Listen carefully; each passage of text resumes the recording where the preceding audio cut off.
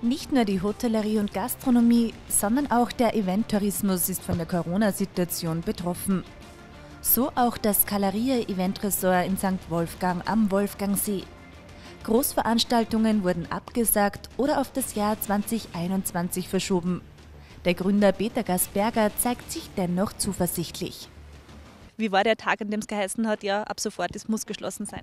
Ja, wir waren relativ früh dran. Am 25. Februar äh, wurde eben die erste Veranstaltung für 27. eine große Pharmaveranstaltung, wurde schon abgesagt, äh, da die eben vom amerikanischen Konzern aus die Order bekommen haben, äh, keine Großveranstaltungen durchzuführen. Und äh, ja, und jetzt warten wir quasi, bis wir wieder aufmachen können. Wie habt ihr die Schließphase erlebt? Also wie war die Zeit jetzt, in der geschlossen war? Es gibt ja jetzt einen Termin, an dem wieder geöffnet werden kann, aber wie habt ihr diese Zeit jetzt währenddessen erlebt? Naja, jetzt äh, haben wir versuchen müssen, alle Dinge, die was gekommen sind, positiv zu lösen. Viele Dinge haben wir im Herbst verschoben, beziehungsweise dann das nächste schon auf das Jahr 2021 verschoben. Die Mitarbeiter sind natürlich auch ein großes Thema. Wie ist man mit denen umgegangen? Wie habt ihr das geregelt?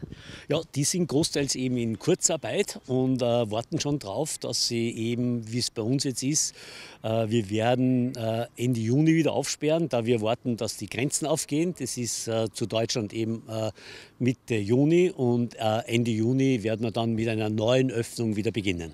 Heißt es dann von heute auf morgen ist wieder alles beim Alten?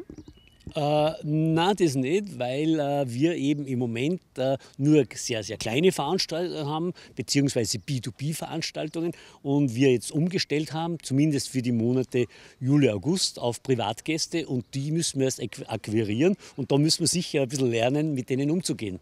Ja, ich sage immer, es ist, äh, kommt weniger darauf an, was einem widerfährt, sondern wie, man, wie wir damit umgehen. Und jetzt brauchen wir halt Ideen, müssen unsere Liquidität sichern, brauchen viele Ideen, dass die Liquidität eben bleibt. Das ist für uns das ganz, ganz große Thema.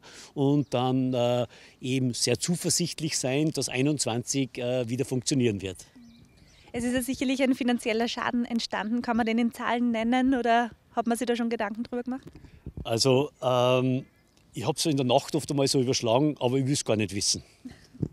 Das heißt für die Zukunft, wie ist denn die Prognose jetzt für die touristische Zukunft? Was, wie sehen Sie das? Äh, ich sehe so, dass äh, im Juli, August sich dieser Privatbereich gut entwickeln kann. Äh, der Herbst wird ein bisschen verhalten wieder beginnen, aber ich denke, so ab Wintersaison bzw. 21 könnte es wieder ganz gut funktionieren. Da haben wir auch schon tolle Buchungen dafür. Werden wir sehen, ob das auch alles so eingehalten wird. So ein Shutdown, der war wirklich von heute auf morgen da. Hat da die Politik Ihrer Meinung nach richtig reagiert oder hätte man das auch anders lösen können? Ja, ich denke, wir sollten da ein bisschen nachsichtig sein, weil am Anfang konnte man das halt nur schwer einschätzen. Wir haben die Bilder aus Italien gesehen und äh, äh Jetzt ist es halt so, dass wir positiv äh, in die Zukunft sehen müssen. Ich sehe es so ein bisschen wie bei einem Labyrinth. Man kommt relativ leicht herein, raus ist dann schon ein bisschen schwieriger. Ab 15. Juni werden dann auch die Grenzen wieder geöffnet haben und in dem Zuge sperrt es euch ihr dann bald wieder auf. Die ganzen Vorschriften, die jetzt einzuhalten sind, sind die umsetzbar? Also ich finde, die Vorschriften sind die kleinere, das kleinere Übel. Äh, es ist viel, viel wichtiger, dass das Geschäft wieder gelingt. Das andere lässt sich alles lösen. Sind die Unterstützungen genug, die die Wirtschaft bekommt seitens der Politik? Ja, also ich glaube, wir sollten ein bisschen weniger jammern, äh, weil natürlich sind die auch ein bisschen überfordert. Äh, aber es geht jetzt um Unternehmertum, um Eigenverantwortung. Wir selbst müssen jetzt irgendwas tun, den Betrieb wieder aufmachen. Es ist so ein bisschen wie beim Fallschirm, der funktioniert auch nur, wenn er offen ist.